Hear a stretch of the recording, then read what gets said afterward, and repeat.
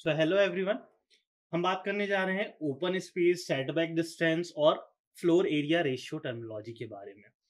साथ ही साथ हम इसमें कुछ और अलग एरिया जो कि रिलेटेड टू द कंस्ट्रक्शन होते हैं, आपके बिल्डिंग कंस्ट्रक्शन के लिए यूज़ करे जाते हैं, उनके बारे में समझेंगे बीच में। तो सबसे पहले हम शुरू करेंगे ओपन एरिया से। ओपन एरिया क्या होता है? तो प्लॉट पे जो एक कोर्ट यार्ड या हम कोर्ट सरकमस्टेंस एरिया में छोड़ देते हैं सराउंडिंग द बिल्डिंग और कॉम्प्लेक्स या multi storey building open to the sky that is called your open area that is open to the sky ये पूरा खुला हुआ होता है uh, जहाँ पे आपका कोई स्लैब ऊपर नहीं कास्ट होता है या किसी तरीके का ऊपर कंस्ट्रक्शन नहीं होता है that is under the open area ऊपर कुछ बना नहीं होगा पैक नहीं होगा कवर नहीं होगा. बाउंड्रीज हो सकती हैं बाकी कंप्लीट कवर नहीं होगा। Uh, अब सेटबैक डिस्टेंस क्या होता है? देखिए, सबसे ज़्यादा जो हमारा इंपॉर्टेंट टर्म है, वो होता है सेटबैक डिस्टेंस और बिल्डिंग लाइन जब हम किसी बिल्डिंग को फ्रंट फेसिंग से क्रिएट करते हैं, यानी जो हमारा एलिवेशन वाली साइड्स होती है फ्रंट साइड जो होती है तो वहाँ हम फ्रंट में रोड से कुछ मार्जिन छोड़ते हैं that is called your road margin तो फ्रंटेज मार्जिन और open space in the front of the building abutting the road that is called setback और बिल्डिंग लाइन ये आपका क्या कहलाता है? सेटबैक कहलाता है और बिल्डिंग लाइन कहलाता है। Beyond this line nothing can be construction toward the plot boundaries आप कुछ भी नहीं बना सकते उसके इस तरफ़ सेटबैक डिस्टेंस या बिल्डिंग लाइन के पहले की तरफ़, आगे की तरफ़, जो रोड की फेसिंग है उस तरफ़। क्यों नहीं बना सकते? देखिए, अगर आप रोड का जो एक, जिस पर गाड़ी चल रही है that is called your carriageway वो आपका क्या कहलाता है? कैरिज वे कहलाता है। कैरिज वे के बाद शोल्डर आता है। इसके बाद आपका ड्रेनेज लाइन फुटपाथ अगर शहर के अंदर है तो। तो ये जो सारी चीज़ें आती हैं, इसके बाद भी हम कुछ रोड मार्जिन छोड़ देते हैं। ये कई चीज़ों के लिए होते हैं, जैसे साइड डिस्टेंस के लिए हम इन्हें छोड़ देते हैं, देखे जाने वाली दूरी के लिए। और इसके अलावा अगर कोई कर्व है या टर्निंग है हॉरिजॉन्टल कर्व है तो उनके लिए कोई भी बिल्डिंग ऑब्स्ट्रक्शंस का काम ना करे, किसी भी तरीके का कंस्ट्रक्शन, उसके लिए side distance, clear side distance के लिए बाधा ना बने।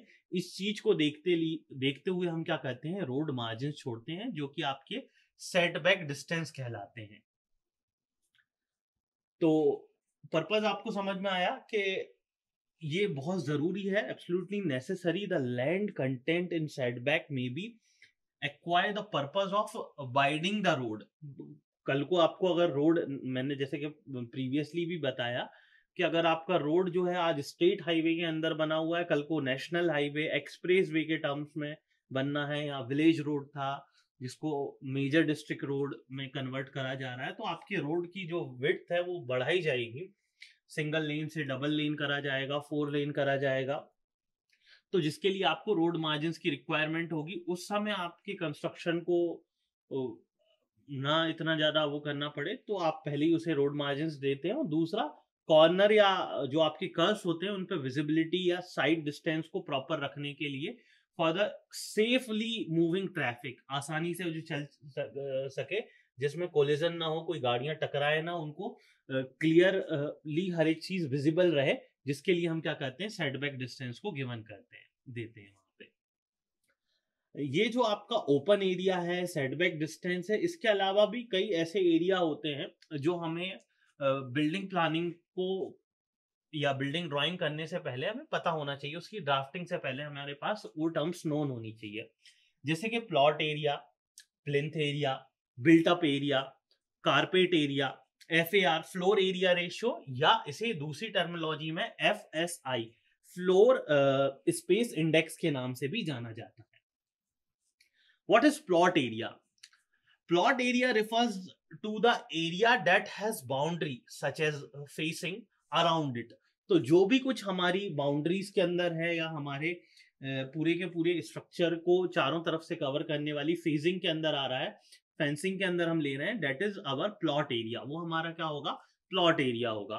कई बार हम कहते हैं कि हमारा एक हज़ार स्क्वायर फीट का प्लॉट है, आठ सौ स्क्वायर फीट का प्लॉट है, पंद्रह सौ स्क्वायर फीट का प्लॉट है, बयालीस सौ स्क्वायर फीट का प्लॉट है.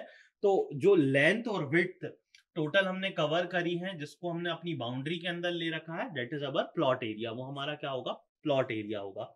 व्हाट इज़ प्लिंथ एरिया तो प्लॉट एरिया से प्लिंथ एरिया कम होगा. क्यों कम होगा? क्योंकि आप पूरे प्लॉट पे कवर कंस्ट्रक्शन नहीं करने वाले। मतलब चारों तरफ़ से पैक नहीं करने वाले, कुछ छज्जाज या अगर जैसे आप छज्जा निकाल रहे हैं और साइड से निकाल रहे हैं, किसी साइड की वॉल से निकाल रहे हैं, मैं रोड साइड की बात नहीं कर रहा फ्रंट एज मार्जिन की बात नहीं कर रहा। आपके साइड में किसी और व्यक्ति का घर है और इस तरफ़ से निकाल रहे हैं तो वो जो विंडो या वेंटिलेशन के ऊपर आपने छज्जा आपने प्रोजेक्शन जो आगे की तरफ़ निकाला हुआ है वो आपकी अपनी बाउंड्री के अंदर आएगा। जब वो अपनी बाउंड्री के अंदर आएगा तो आपको उस तरफ़ कोई मार्जिन छोड़ने पड़ेंगे। तो ये जो मार्जिन छोड़ेंगे तो प्लिंथ इसके कहा होगी? अंदर की तरफ़ होगी। तो ये आपका प्लिंथ एरिया होगा। डेफिनेशन के टर्म में अगर मैं आपसे कहूँ तो plinth area is the area for the cover built up area. That is measured at the floor level. At any story of building. आपकी नंबर ऑफ़ स्टोरी कितनी भी हो सकती है जी प्लस टू हो सकती है जी प्लस थ्री हो सकती है जी प्लस टेन हो सकती है, लेकिन हम कहा बात कर रहे हैं? ग्राउंड की बात कर रहे हैं। और even the floor level is the basement of the building ठीक है? तो ये आपका क्या कहलाएगा? ये आपका प्लिंथ एरिया कहलाएगा। प्लिंथ एरिया के बाद अगर हम देखें तो what is built up area और कवर्ड एरिया देखिए प्लॉट एरिया हो सकता है आपके पास थाउज़ेंड स्क्वायर फीट का हो। प्लिंथ एरिया हो सकता है कि आपने जो कंस्ट्रक्शन करा, वो 600 स्क्वायर फीट करा है 500 स्क्वायर फीट करा उसके ऊपर 400 स्क्वायर फीट करा है। लेकिन built up area plot area से ज़्यादा हो सकता है। क्यों? क्योंकि आपने उसमें नंबर ऑफ़ स्टोरी बनाई होंगी। G plus two G plus three duplex बनाया, आपने मल्टी स्टोरी बिल्डिंग बनाई है तो ये ज़्यादा भी हो सकता है और प्लॉट एरिया के से कम भी हो सकता है, बराबर भी हो सकता है। तो the plot area minus the area due to open space is known as built up area तो जो हमने खुली जगह छोड़ दी है, चाहे आपने गार्डन छोड़ी हो पार्किंग छोड़ी हो फ्रंट बरामदा बैक बरामदा, आपका ओपन स्पेस कॉरिडोर लॉबी कोई डक्ट आपने छोड़ा है, कोई बालकनी आपने छोड़ी तो that is not cover in the your built up area वो आपके बिल्ट अप एरिया में कवर नहीं होगा। Following areas the limitation of built up area mention in the NBC national building code तो जो एनबीसी हमने पहले देख चुके हैं प्रीवियस वाले वीडियोस में तो वहाँ पे आपको पता है कि आपके पास बिल्डिंग का बिल्टअप एरिया लिमिटेशन है, आप उतना ही कर सकते हैं। ऐसा नहीं कि आप हाई राइज छोटे स्पेस में क्रिएट कर दें। What is carpet area carpet area क्या होता है? Net usable area within building to calculate carpet area deduct the following areas from the plinth area plinth area में से कुछ चीज़ें अगर हम माइनस कर दें तो बचा हुआ एरिया आपका कारपेट एरिया कहलाता है। ये जो मैंने कुछ चीज़ें कही ये क्या होंगी? किन कुछ चीज़ों की हम बात कर रहे हैं? जैसे आपका पैसेज है कॉरिडोर है पोच है लॉबी है लिफ्ट के लिए आपने कोई स्पेस छोड़ रखा है वाटर क्लोसाइड बाथरूम का जो एरिया है थिकनेस ऑफ़ वॉल दीवालों की थिकनेस जो है, आपकी नाइन इंची वॉल है मतलब एक ईंट की दीवार है, आधी ईंट की दीवार है thickness of wall vertical shaft for drainage ये जो हमने स्पेस छोड़ रखे हैं डक्ट कोई छोड़ रखा है तो वो आपका कारपेट एरिया में नहीं आएगा। तो मान लीजिए अगर आप कारपेट एरिया निकालना चाहते हैं तो आपका एक हज़ार स्क्वायर फीट का कोई प्लॉट है, जिसपे आपने प्लिंथ एरिया कंस्ट्रक्शन कर रखा है, मान लीजिए for example five hundred square feet अब उस 500 स्क्वायर फीट में सारी जगह पे रूम नहीं बना होगा हॉल नहीं बना होगा। कुछ ऐसी जगह, जैसे कि वॉशरूम कुछ ऐसी जगह, जैसे कि आपकी पोच कॉरिडोर, लिफ्ट वाला सेक्शन तो ये यहाँ पे आप कारपेट नहीं डालते हैं। तो ये एरिया माइनस होता है। अच्छा मान लीजिए अगर हम किसी एक रूम के ही कारपेट एरिया की बात करें, दस बाय दस का रूम है, यानी कि सौ स्क्वायर फीट का रूम है तो हम इंक्लूडिंग वॉल थिकनेस दीवार की मोटाई जोड़ के इसको टेन बाय टेन कर रहे हैं, दस फीट बाय दस फीट। तो अब ये जो दस बाय दस का है, इसमें दीवार की मोटाई भी जुड़ी हुई है। तो अगर हम इसका कारपेट एरिया निकालेंगे ना तो डिडक्शन ऑफ़ वॉल होगा। और अगर उसमें कोई, पहले से ही हमने कॉन्क्रीट की स्लैब कास्ट माफ़ करिएगा, अगर कोई हमने वहाँ पे एलमेरा कास्ट कर रखी है तो उसका एरिया भी डिडक्शन होगा। उसके बाद जो एरिया बचेगा that is your carpet area वो आपके किस चीज़ के अंदर आएगा? कारपेट एरिया के अंदर आएगा। तो बहुत सारी चीज़ें जो आपको कारपेट एरिया से माइनस करके देखनी है।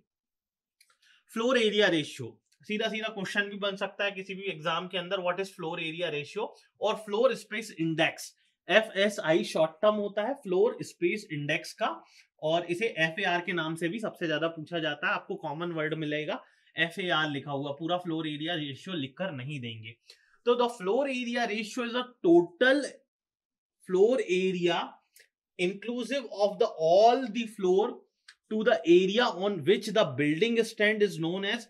Floor space index और फ्लोर एरिया रेशियो तो अगर मैं इसको एक फॉर्मूले के टर्म में आपको बताऊँ for example floor area ratio F A R या एफ़ एस आई तो total cover area of all the floor one two three G plus हमने थ्री बनाया जितने भी हमने जी प्लस कंस्ट्रक्शन करा है तो नंबर ऑफ़ फ्लोर का जितना भी टोटल एरिया हो रहा है, वो total area divided by plot area आपका प्लॉट एरिया फिक्स है। अगर मान लीजिए आप 25 बाय 40 स्क्वायर फीट के 25 बाय 40 फीट के प्लॉट पे कोई कंस्ट्रक्शन कर रहे हैं, एक हज़ार स्क्वायर फीट के प्लॉट पे तो थाउज़ेंड स्क्वायर फीट वो आपका फिक्स हो गया लेकिन नंबर ऑफ़ फ्लोर्स में जितना एरिया कवर करा है, हो सकता है कि ग्राउंड फ्लोर पे आपने 500 बनाया हो फ़र्स्ट पे 500 बनाया हो, फिर उसके ऊपर 200 और ऊपर स्टेयर केस का सिर्फ़ हॉल आप अगर आपने बनाया है 80 फीट 80 स्क्वायर फीट में तो इन सबको टोटल कर देने के बाद जो हमारे पास एरिया आ रहा है तो that is called floor area ratio एक एग्जांपल के तौर पर और हम इसे समझ लेते हैं।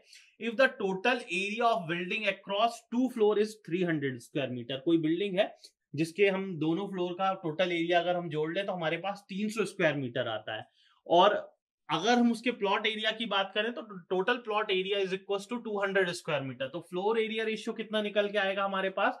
टोटल ऑल द फ्लोर का एरिया 300 था तो 300 divided by 200 is equal to 1.5 तो हमारा 1.5 का फ्लोर एरिया रेशियो निकल आएगा।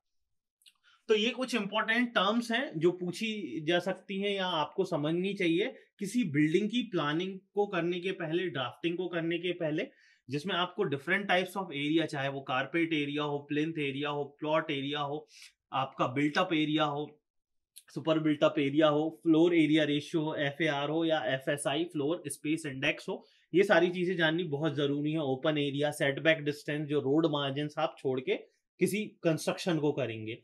तो ये सब चीज़ें आपकी कवर होती हैं, जिसकी मदद से आप आगे जाके क्या कर पाएँगे? बिल्डिंग प्लानिंग को आरामी से, आराम से समझ पाएँगे और आराम से डिज़ाइन कर पाएँगे। तो आई होप कि ये क्लियर होगा। Thank you so much